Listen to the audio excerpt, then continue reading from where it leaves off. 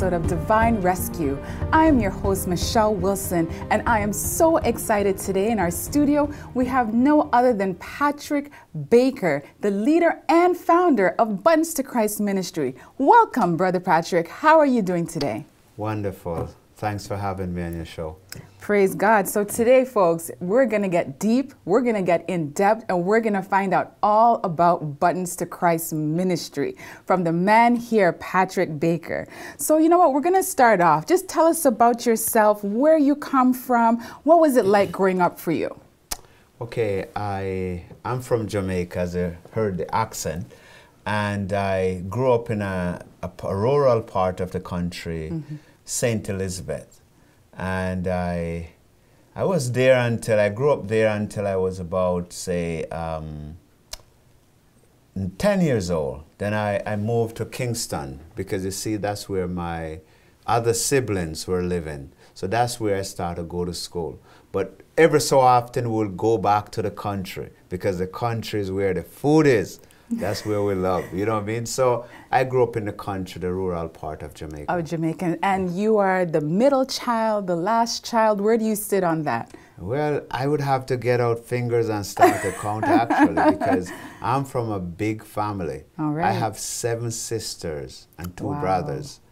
And I have seven sisters, no, six sisters before one son. So I follow nice. my brother. So I'm somewhere close to the bottom there, but you know, oh, yeah. So it's a really big family, and we're really tight knit. Mm -hmm. And my mom really loved the Lord. Praise At God. times, I had to ask her, "Who is the prayer warrior in this family?" Mm -hmm. And then she will direct me back to our great great grandfather who was a Sunday worshiper, but he was strict about worshiping on Sunday, meaning that nobody could buy or do anything on the Sunday.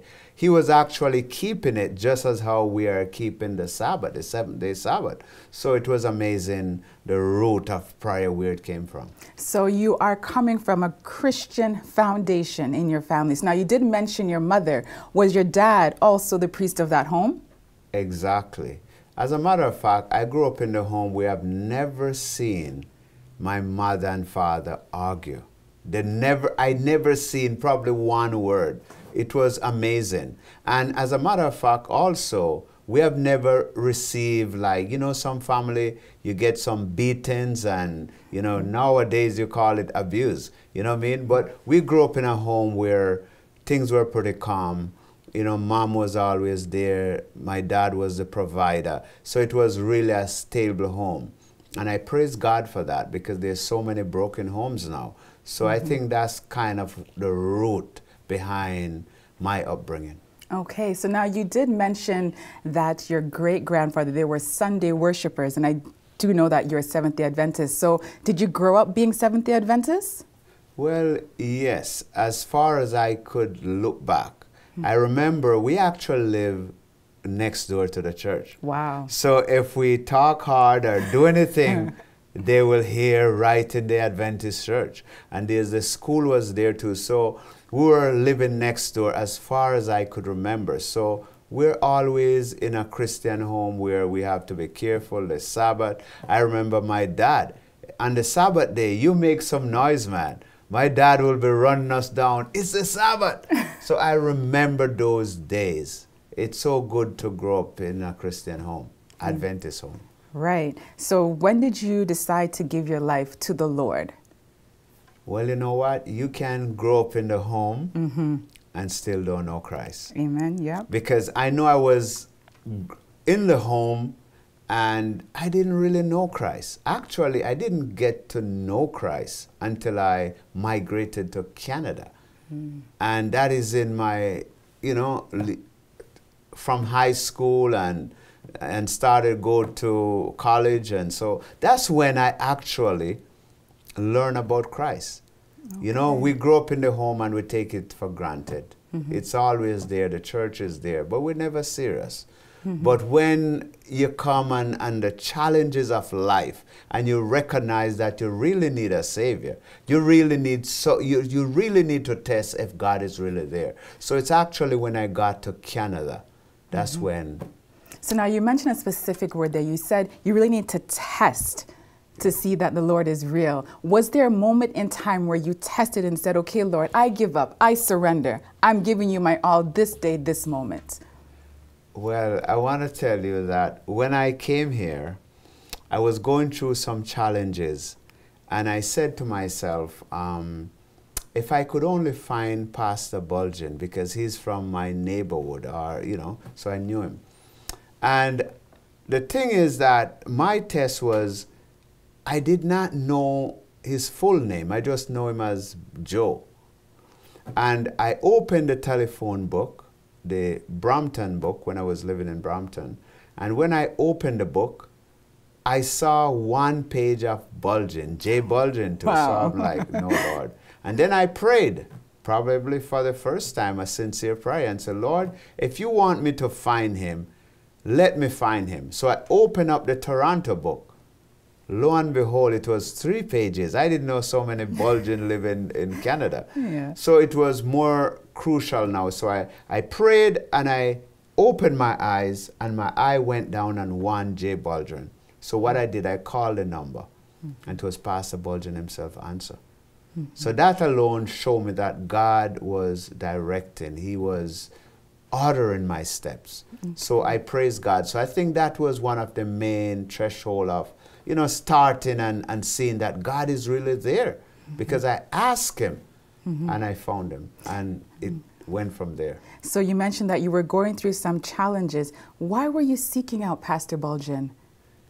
Well, I recognize that the Bible says, train up a child in the way they should grow. Mm -hmm. And when they are old, they will not depart from it.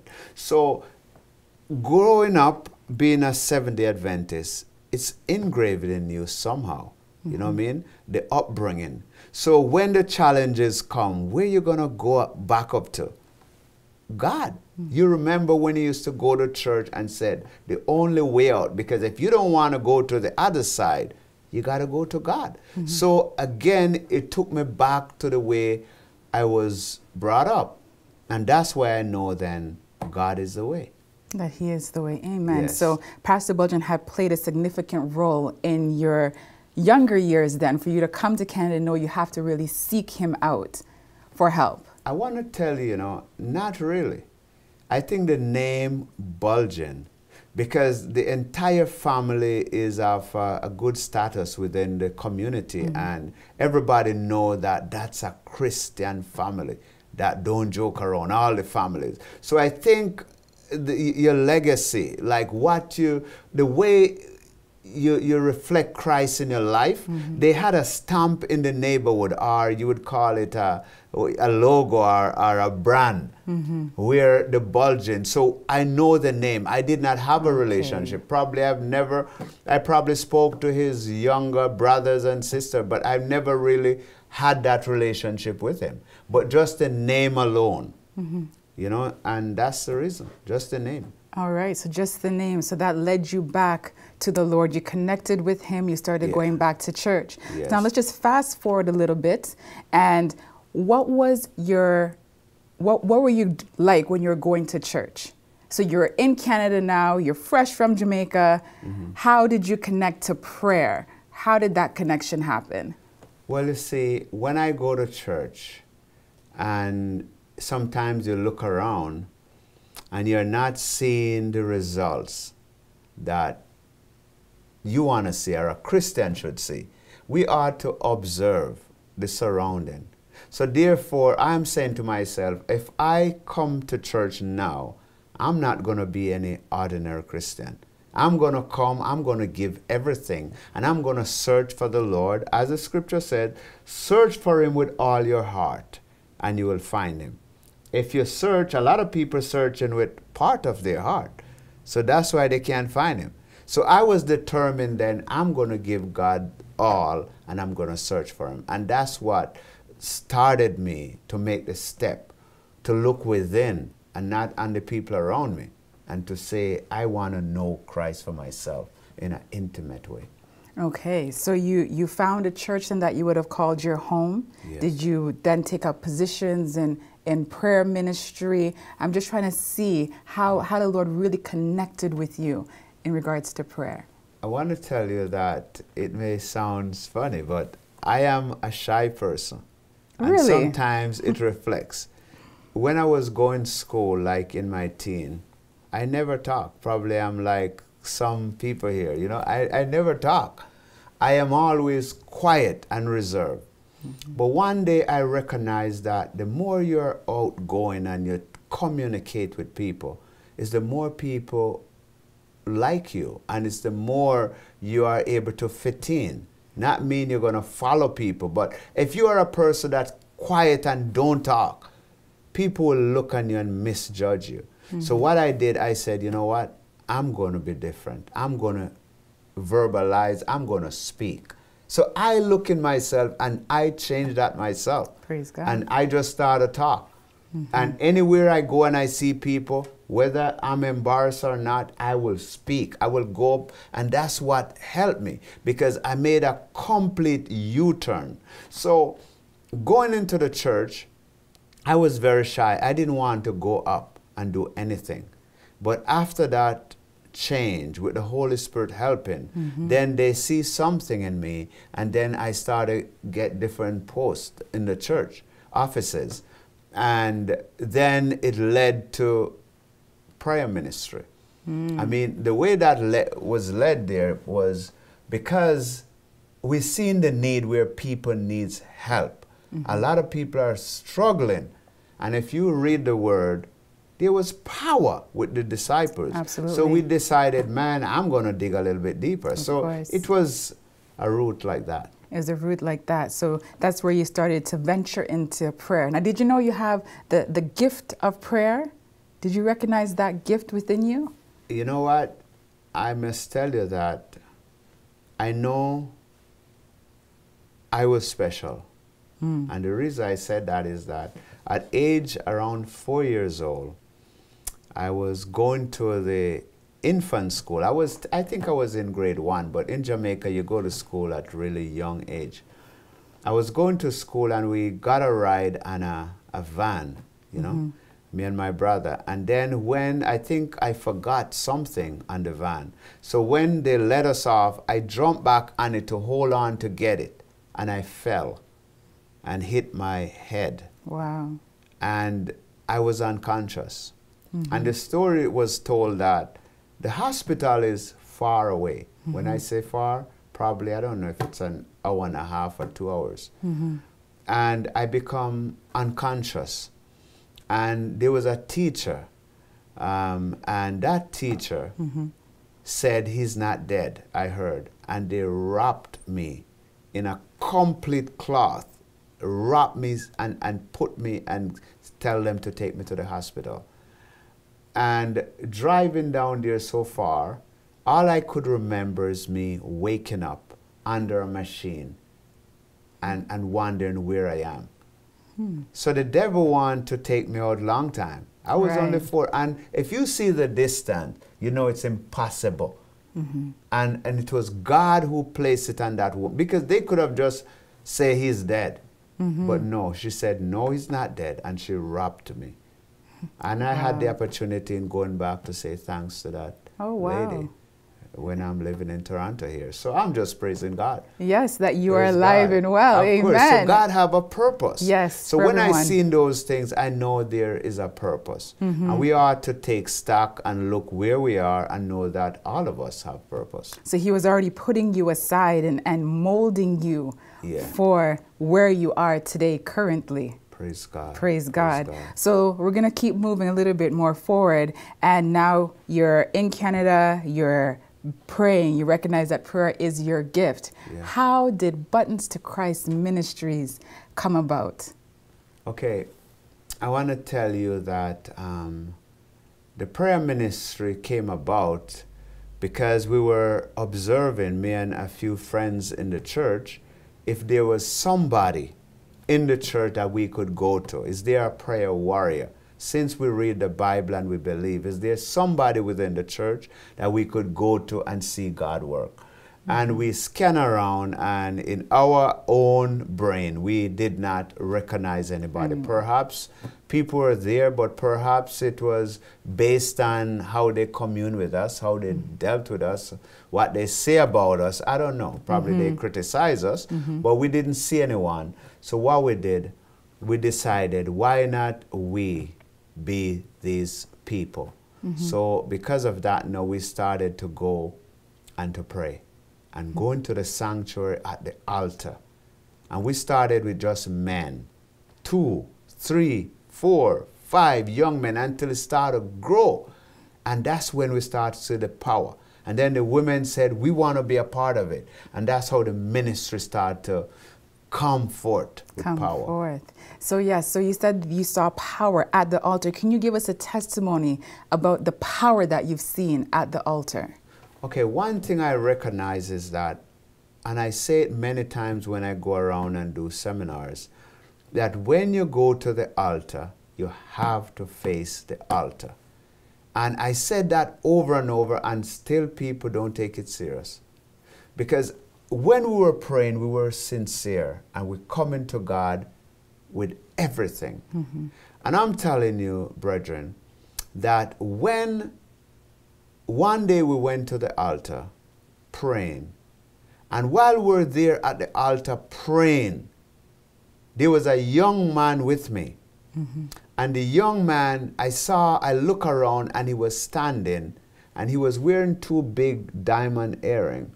And when I look at him, he was crying and I saw the earrings on the ground. And he said to me, he spoke to me. So I said, Who? He said, The Lord, he said, I'm on holy ground. Take the earrings out. Wow. And he said, I took it out. And he was crying. He was on 22 and he mm-hmm. was bawling. Mm-hmm. So, so, what I'm saying then, we have seen so many powerful things at the altar.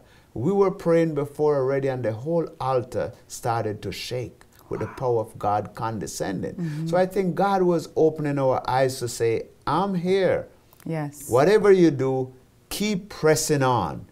I'm going to empower you. I'm going to empower the ministry. It's the root, it's the grassroots of things starting. Mm-hmm. And it's important, that's a very important point you made because we do notice that when there is a call for prayer within the church, we get in a comfortable position. We turn our back to the altar and we lean on the pew in prayer. But you're saying there's power when we turn around and we face the altar because we're facing a holy and mighty God. Yeah. So we should not turn our backs on the Lord. Definitely. How can we go to face God and turn our back? Mercy. But I have to share this that there was one time we were praying in, in, in, in the sanctuary and we felt an unfamiliar spirit came in. Hmm. And when I look up, I saw a Portuguese young man turn his back with his fingers in his ears to the altar. Wow. And I ran over there and spun him around, and he wanted to fight me. Mm-hmm, and mm-hmm. immediately I felt the power walked out. Again,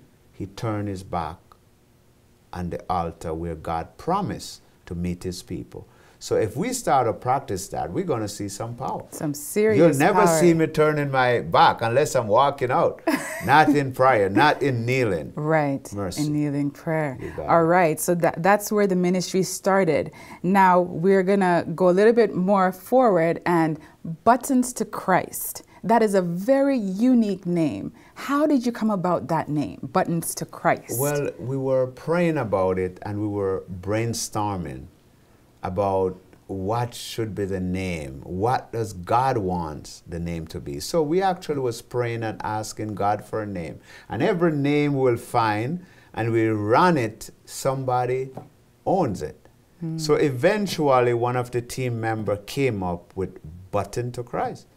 And then we prayed, and what the Lord impresses us about is that button means relationship. You know, I know I usually say it's closeness, but close to God. It's a relationship. He's looking relationship with everyone. So that's where this ministry is going. Drawing people to Christ, letting them know that we need to have that relationship. That's what gonna blossom and take us to the next level. and how long has the ministry, how long has Buttons to Christ ministry been around? Well, Button to Christ is around now. I'll say it's going up to, say, 15 or 16 years. Wow, praise God. So it's a long time, and we have seen thousands of people being delivered through this ministry. Now, you said delivered.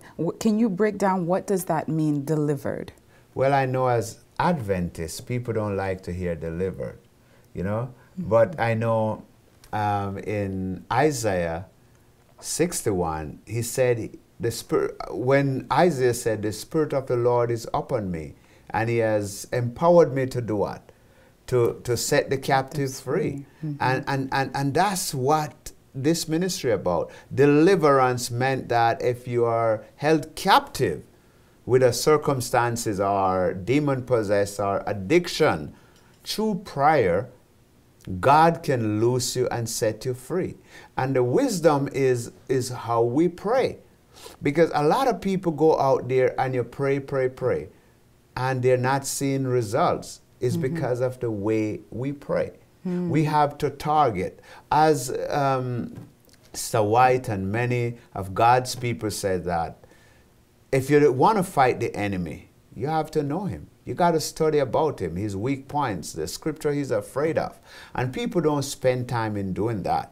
And like, for example, Matthew 27, mm -hmm. when we read that, the enemy hates that. And we have seen it, we have, we have witnessed it. So God is so powerful. So whenever we read that scripture, the devil shakes. Wow. So in deliverance is the way you, you, you approach it. You have to know who you're fighting. Mm -hmm. You have to pray with faith in a powerful way. You got to confess all your sins and you got to just pray and claim the promises too. You know mm -hmm. what I mean? Mm-hmm. So the way the Lord taught us and we approach it, we have seen many results. We have seen many powerful deliverance. So you have just listed a, a, few points there, folks. We will go back to those so you can write them down with pen and paper. I'm just going to rewind a little bit. Tell me, you said that the ministry does deliverance. What other aspects? Can you just go a little bit more in detail about the different aspects of the ministry? It's deliverance and what else?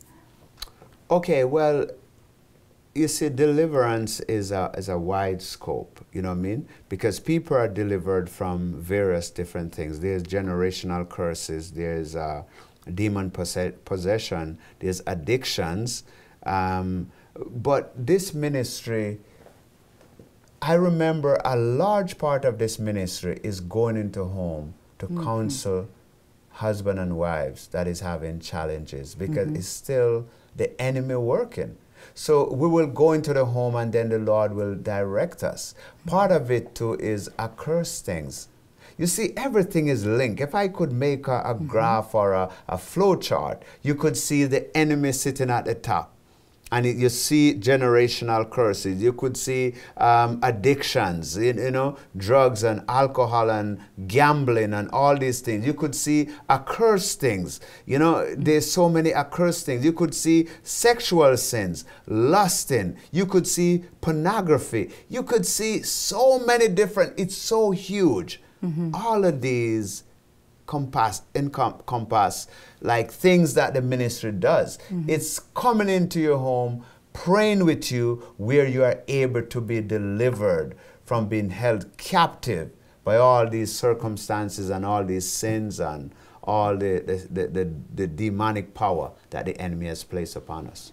All right, so that's, that's very in-depth. Now I want to even break it down even more. What does it take for you to come to somebody's house? What is the what are the steps that need to be taken for you to show up at say my house? What what would the steps that would need to be taken for that? Okay, there is uh, you have to send us an email or you have to call us. You know, there's several numbers on the prayer line and also on the, the, the website where you have to call us and book an appointment you have to realize that this is a, a, really busy ministry. We don't have enough support and help.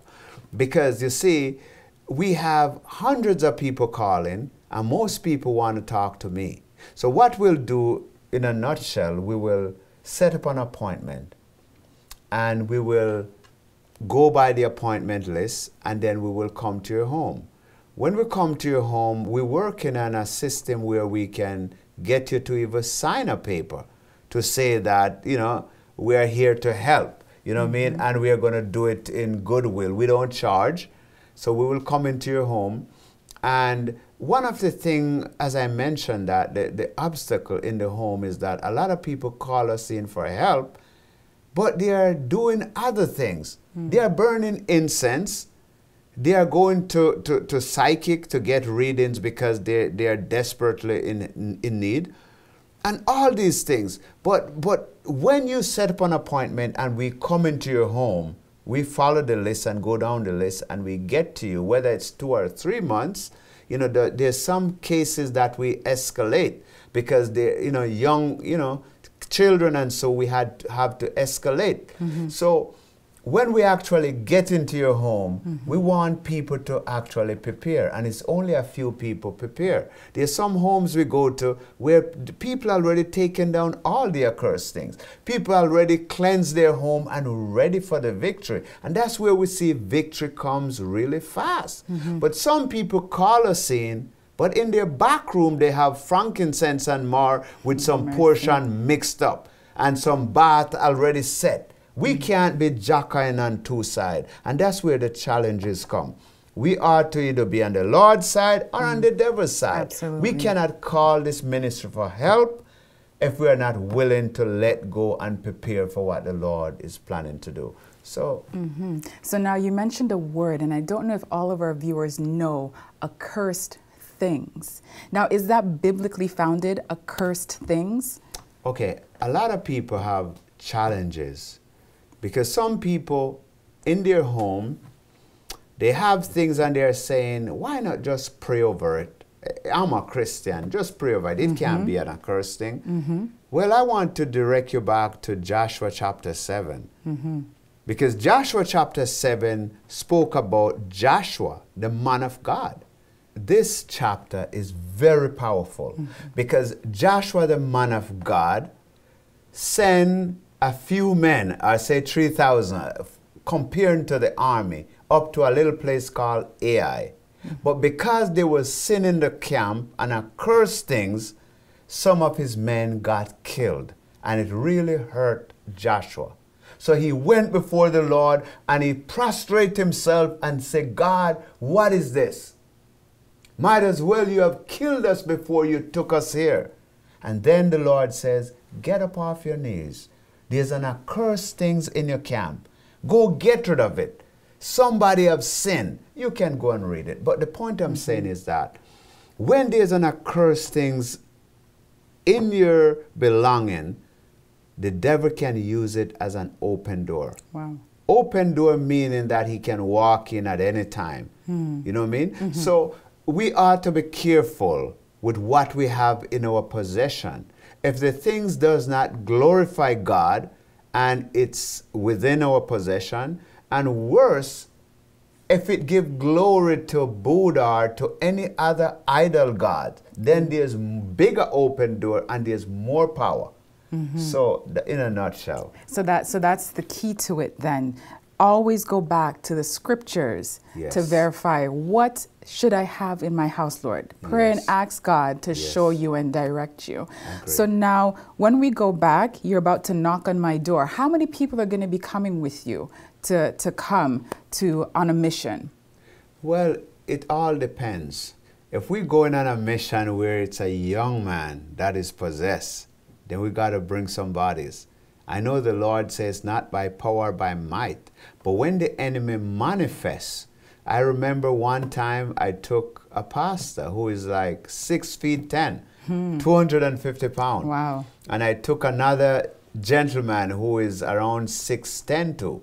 And we had the family there.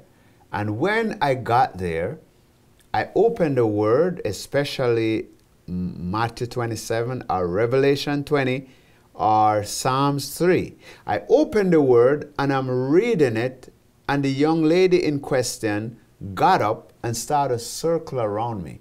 And as I read it, I said to them, Prepare to hold her. And suddenly, she just launched and jumped on me, and we had to pin her to the ground. Mm -hmm. It took those strong men was struggling to keep her down. One of the pastors says, this ministry is really serious. A lot of people don't know about it. Mm-hmm. In other words, what we're saying is that when you're going to visit somebody, it depends. Mm-hmm. Sometimes it's somebody big, and if I had have nobody, I'm gonna go alone. But I go and I ask the Lord to come with me, and sometimes the Lord subdue. So hmm. it depends. But we will say we'll take two or three people if necessary. Yeah. Okay, so you enter the house now. Do you gather the entire family? What, what's the what's the format of it? How's it set up? when we go into the home, we want to make sure everybody is in one accord. So we're going to pull everybody together to have a general worship. Okay. And after the worship, what we will do, we will pray through the home. Mm-hmm. And when we pray through the home and we see and occurs things, we will tell you, but we are not going to remove it. And nobody can says, Patrick from Button to Christ, remove this. Because we are going to tell them that's an accursed thing. The only thing I'm guilty of removing, if I see a Freemason symbol and it's right in my face, I said, you got to move this now.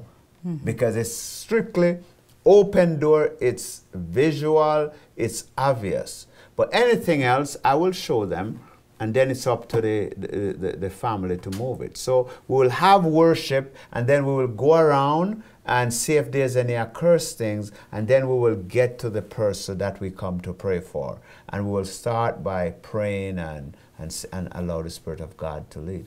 Okay, so now you're you're in the house and and you've now cleansed the house. I forgot. Let's back up a, a little bit. So now you have two or three people coming with you. How does the team prepare for this form of spiritual warfare? Because that's what it really is. How does the team prepare for this? Well, the Lord says certain spirit can only come out through prayer and fasting. Mm-hmm. So we will not go on a site unless we're fasting. There's some Okay. emergency cases where God allow us and we'll go and we'll see deliverance. But when we go into somebody's home, we are prepared. And as a matter of fact, we tell them to prepare too, because this is war. So we will go into fasting, studying the word, and, and get our scriptures and be armored up, ready. Mm-hmm. And we'll ask the Lord to put the armor on us because it's war. Mm-hmm. If we don't fight, we're going to die if we don't have the proper ammunition. We're going to die. It's war. It's war. So, folks, when Brother Patrick and the team comes to your home, don't offer them any food. They're fasting.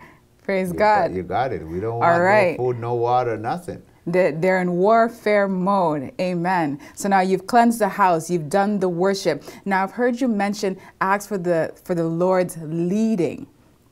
How, how does the Lord lead? Does, does the Lord speak? How, how does that work? Okay, when you go into the Word, the Bible, many places the Bible shows that the Lord spake unto his servant, mm. and he sent an angel or he spoke audible to them and said, Thus saith the Lord, are the servant.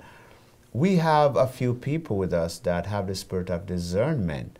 That has been proven many times. So when we go into the home and we homes and we pray, sometimes the Lord will speak to them and direct them in what's supposed to be done.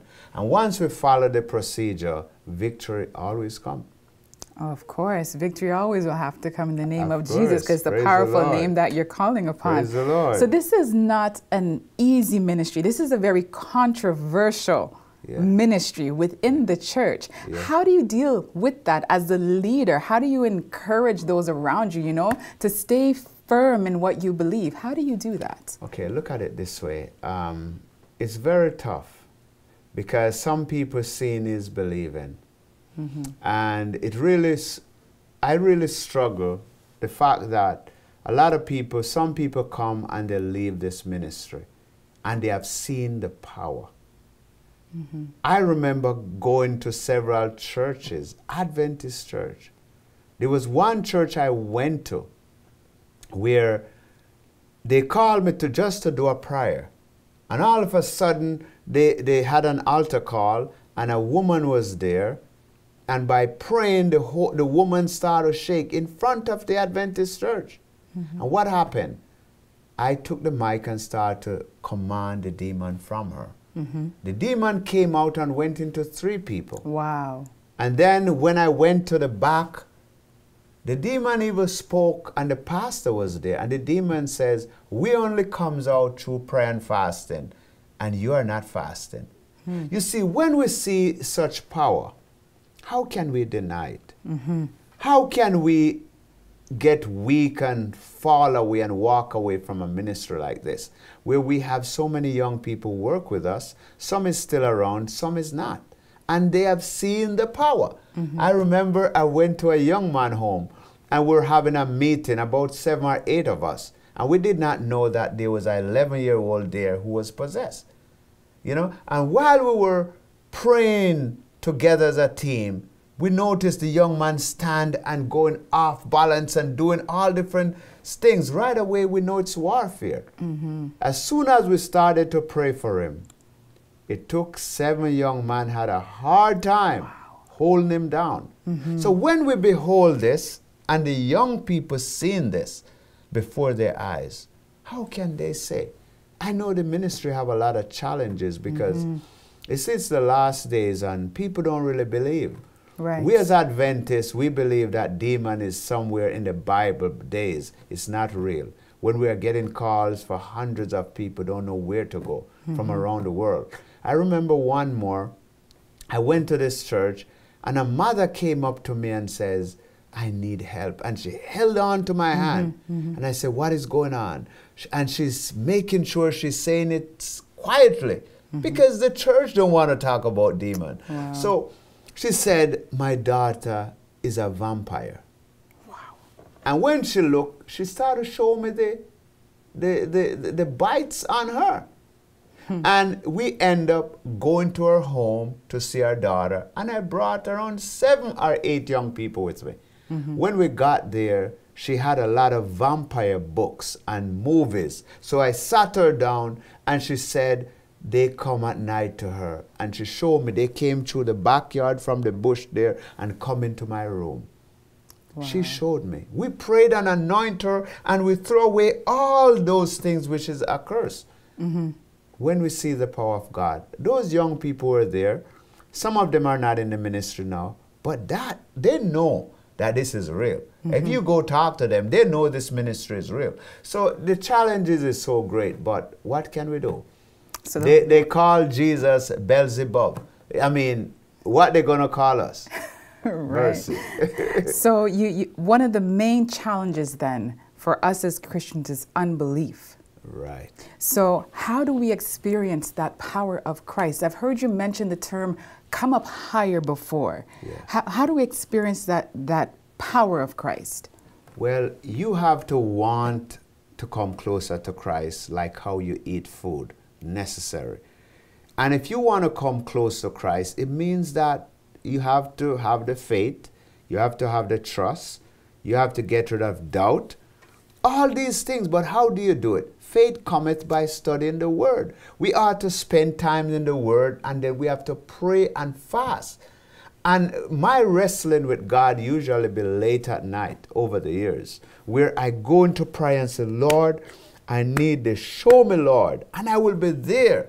And that's why when we pray, we take time to pray. Mm-hmm. Long time wrestling with God. So if somebody really want to come higher, it's like getting a better job. You don't expect to just get a better job without studying. Mm-hmm. You don't expect to move up in the workplace and go to the next department and make more money by doing nothing. If we want to come higher, we got to study the word. We got to drop what we're doing that is not of Christ and turn. And if we start to turn, we're going to see the power of God. We're definitely going to see the power of God. Yeah. So now, it's challenging to get in contact with you. Yeah. You're a very busy man. So, does only Brother Patrick possess this power to cast out demons? Well, as I said, this is a, a serious question because um, I myself had recognized sometimes we will go and pray for somebody and we don't see the deliverance and you get a little bit discouraged. Mm-hmm. But there's many times me alone on the phone, I go to somebody's home and I see the power of God. And I'm saying, wow, God, you really give me a gift. Mm-hmm. Because I had to come to terms with it. We're mm-hmm. talking heavy duty stuff here. Mm-hmm. We're talking people praying for people and seeing the power of God. The enemy spoke and flee and they drop on the ground, all different things. Mm-hmm. I've done so many. Mm-hmm. And when I seen it, I know that God has given me a gift. Is no doubt. It's not praising self or saying anything. I've seen people come and I held my hand up and immediately they fell to the ground and the demon started say, Don't cast us out, don't cast us out. I've seen it. So, and I have witness. So it's not about Patrick alone, but most time people can see where the help is. Mm-hmm. They can know that if they talk to somebody, they don't have enough experience. So they want to get to me. But I'm only one person. I try to train a lot of people, but it's a ministry that takes a lot of strength. It burns you out. A lot of people don't want to deal with the demon stuff. Because you'll be praying, there's many nights I pray against the power of darkness for 12, 13 hours until the next day. How many people is going to do that? Mm -hmm. No. But when you go and you press, God will help you. So God gave me this gift and we are trying to train people. But sometimes they get burned out when it's four hours and they disappear yes. because we don't willing to go the distance. Mm -hmm. So therefore, the need is so wide and great that people are knocking as we sit here. We have many cases that I haven't even called back. And still people will call me up and people malice me because I don't get mm-hmm. back to them. They're yes. not getting it that if I get a WhatsApp message and I by the time I look at it, sometimes 10 more comes in. It bunks down. I don't even see it. Sometimes I get a text and more texts coming and just rolling. I can't control it. We can only do, I know God is going to send people to help us. I know mm-hmm. He's preparing some people and perhaps some of the people around us going to get stronger. Or some may even drop out we don't know. Mm -hmm. and god is going to replace them. We don't know. But it's really hard to get in touch. It's not me alone have the gift. There's other people in the ministry but they need the support. We're trying to teach and to support but it's mm-hmm. hard.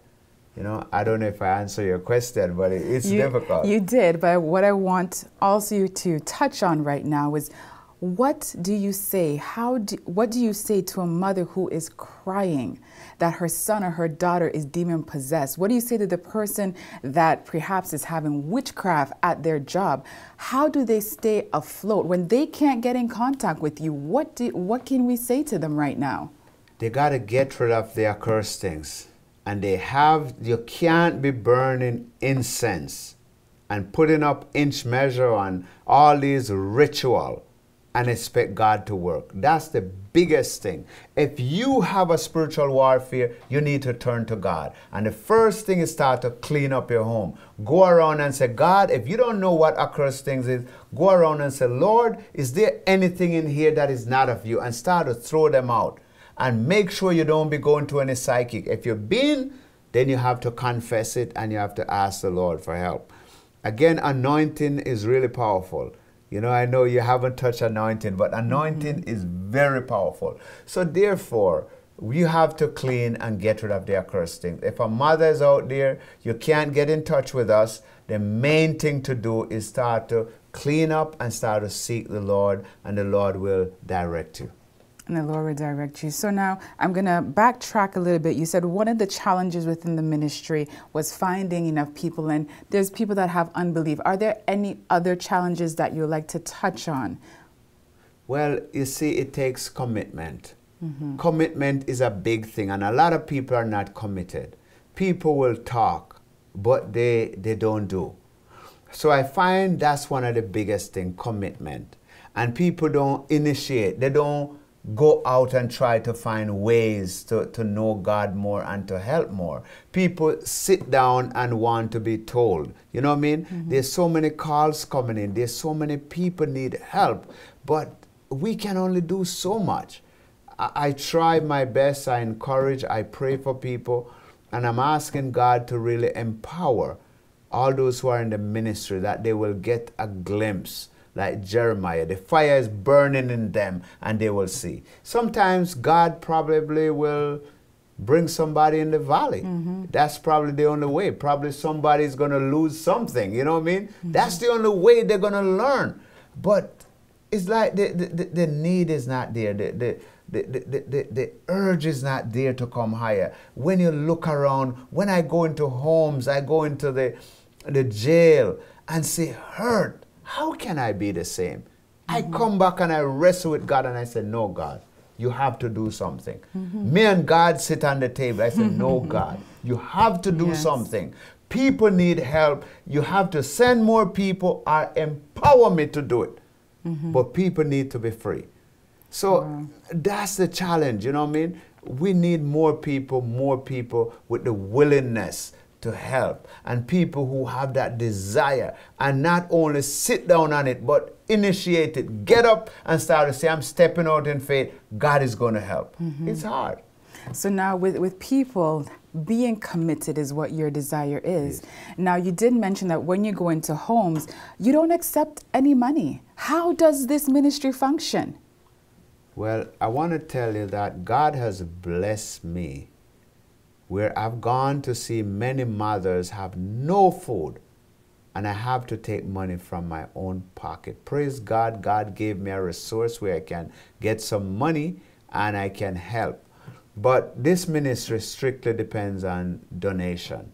But we don't go and ask. If we were asking people for money over this 15 or more years, we would have hundreds of thousands of dollars in but we can't ask for money because God don't permits. God don't charge for his service. It's free gift. Salvation is free. Mm-hmm. So, you know, people, God will in due time.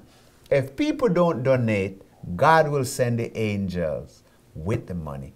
I know this ministry going to go high places. Mm-hmm. And God has already prepared the angels. If human don't bring it, God will send angels with the donation. Okay. So now on the topic of donation, can you just tell our audience where is it that they can donate to such a powerful ministry as Buttons to Christ? Well, you see, to donate to, to, to Button to Christ ministry, you could go to GoFundMe, or you could do wire transfer, or you could just call one of us here at the office, at the head office, and say, I want to donate to the Button to Christ ministry you know, I remember somebody told me that um, they seen an older lady, and the lady says, I want to support a ministry and put them on my will. You see, when you donate money to us, it don't help us. It help the people, the homes that we have been into. I want to tell you, as we speak here, I have to get some money prepared to send for a mother which have a 13 year old son that is doing a brain surgery and this mother have no money. Husband have no job mother have no job. And what we do when we see stuff like that we have to help. If i don't get the donation to send i'm going to send the money that i'm using to buy food. I'll do without. That's the depth we're going. But i know one day god is going to send money where we're going to be able to help thousands of people around the world. So I'm appealing, donate. Okay. You know, there's some good people out there. If you believe in the ministry, and if you don't, just come and join us. Go out with us and see the power of God work. Amen. You will never, never, never be the same. Never. So now, even with hearing you make a plea to the audience for donations as the Spirit moves them, where do you see the ministry in about five years from now? Because I know the nation is going to start pouring in. So, where do you see the ministry five years from now? I want to tell you that we could go out tomorrow and get a building because the amount of people we have seen delivered, mm -hmm. people will come. It's not a fake deliverance. We're Adventists. And a lot of times, I have to tell you this. I know mm-hmm. the time is going, but listen. I remember I went to Jamaica and we went to have lunch beside a place where there was deliverance, they call it, like, you know, witchcraft, high level witchcraft, mm-hmm. where stone was coming and breaking out all the windows. And they came right up to me, somebody, and said, Can you help those people over there? The Adventist church is just a couple blocks down. The news broadcast came there. It's known. Wow. And I want to tell you that I told them, here's my card where I'm staying. If you need help, come and see me. The next morning, I got a call from the, the, the, grandmother, and they told me that the piano will get up by itself and move out. They told me that the phone will levitate. These are real powers. I was a little bit, you know, shaky mm -hmm. when I heard these things because they said anywhere you go, the stones will come and knock your windows out.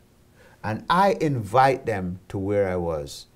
I anoint them. We prayed and asked the Lord to show us the accursed thing. The Lord showed us. We recognize and, and realize or learned that he was Freemason, the dad for the young boy. Wow.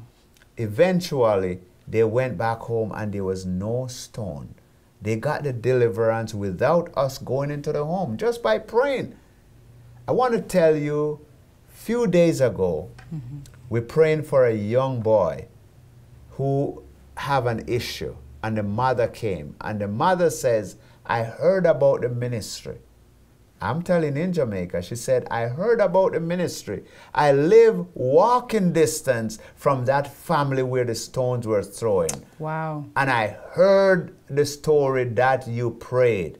She told me that right in my face. Mm -hmm. So, what I'm saying is then, there's so much power to this ministry. Mm -hmm. There's so much things to share. If God's people eyes could just open and see what God is doing, mercy. So one of your long-term goals is eventually to have a building supporting the ministry. Yes, yes. The long-term goal then is to have a place like a hospital where people can come. Mm -hmm. And I mm-hmm. know that the Lord is going to allow this to happen. I don't know how much it's going to cost. But the goal is really huge. And I know through the grace of God, God is going to do it. Where people could come in and we could have people wait a waiting room like the real hospital. God have that in mind. He definitely has that in mind. Now, you mentioned that that was a really serious testimony you just shared there. You said you were a little bit shaken up. Have you ever been fearful, Patrick Baker, when you go on these deliverances? Well, there was two times I was I was shaken up. There was a young man again in Jamaica. We went to see two of us, and the, he was locked up in a room, and his own father is afraid to go in there, and he's locked in the room, and nobody can get in there. And then the father came to me and said he have a spare key to open the door, but they don't know if he have a knife or what he have in there, but nobody can enter. And I decide I'm going to enter. So he opened the door and we all run in there. But then he grabbed a thing, a bottle, and it's like fire was coming from his, his eyes. And all I know that everybody was out of there leaving me standing. And I could Mercy. feel the fear. And he came up to my face and he was shouting on top of his voice and say, I'm going to kill you. And I said, in the name of Jesus Christ, you cannot. And that was a big victory. Because when everything was done, he walked out of that room for the first time in probably months with me. I was able to pray for him and sit and talk to him. It was a huge breakthrough. I wow. think that was one. And one more time, mm -hmm. I went to pray for this lady. Mm -hmm. And two things that is key about this case there was a gentleman that came from the Caribbean, a different country, an Adventist, and he said, You don't have to hold people who are demon possessed. And it was a family member. And I said, I don't know about that. Hmm. So we said that we had a meeting in a corner while the young lady was way upstairs. When we got upstairs, hmm. and we got upstairs and started to, to have the meeting and start to talk to her, all of a sudden, he, she came and launched to hit him, and he wow. grabbed her. Wow. And she says, I thought you said that you shouldn't hold. It was the demon listening. That wow. confirms to me that it was a spirit because there's nowhere she could hear. Mm -hmm. That same young lady, when we praying for her, she ran downstairs and ran in the kitchen. And I backed her in the kitchen and said, I want to talk to you. She pulled a 12 inch knife from the sink. And she's coming towards me. And a voice is saying to me, Run. But then I calculated the door and said, mm-hmm. She's going to stab me in my back. And I said, No, I can't. And she held her hand up and came in my face with this, and her face twitching. And she's coming down, and I held my hand up and said, In the name of Jesus Christ, you can't touch me. And the knife was stuck halfway, and she's shaking, and I said, You can't. I'm covered under the blood. And then mm. she and she brought it down. I grabbed her hand. Wow. And there was a pastor there and a next young lady. I said, Help me. We had to wrestle her to get that knife. Wow. That was a challenge. So we have a few challenges, but I know God have my back. I've been many places and see the power of God work. Mm -hmm. So that was indeed a powerful testimony you just shared with us. Now, I do realize you have um, a prayer line. Can you give me some more details about that prayer line?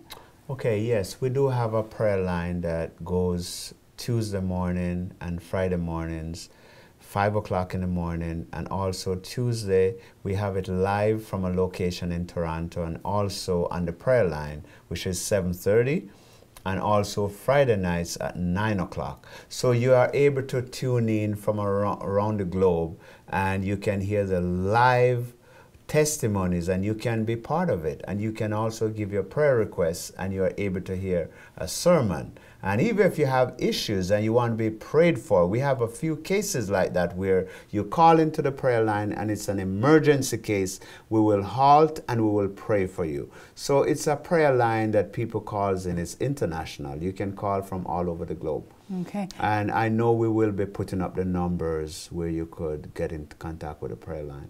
All right. So now you said you do go to a church, and that's in Toronto. Um, do, what's the name of that church? Well, we we we we don't we're Seventh Day Adventists, but we use a location, uh, Saint Giles Church. They are such an amazing family, pastor in that church, and they were able to allow us to worship there, and it's a beautiful sanctuary. You know, it's everything is on the website. It's on the online, thebuttontochrist.com. You can go to it and you could see how to get there. We have worship there every Tuesday at 7:30. And if you want to come out a little bit early, we will definitely welcome you as we will pray with you. Now, the sermons that are, are done there are, can we see them? How do, if somebody can't make it out, how do they get to those sermons? Well, we try our best to post them on the YouTube channel every week. So if we if this Tuesday, the following by the following Tuesday it will be posted. And if you go to the, the YouTube channel, you will see some really powerful interviews and sermons, you know, as the Lord gives directly. That will change your life. Praise God. Praise so, well, God. there you have it, folks. A powerful man of God who has been able to spend some time with us today at Divine Rescue. We just want to thank you, Brother Patrick, for Praise joining God. us. We'll definitely have to have a part two. Folks, because there was so much information shared here about demon possession, what to do. We have just touched the very top, the skim of it. So definitely we have to invite you back, Brother Patrick. No it was problem. nice meeting with you. Praise and I. You pray that your ministry, Buttons to Christ ministry, will go leaping by mounds in the name of Jesus. Praise God. Thank you.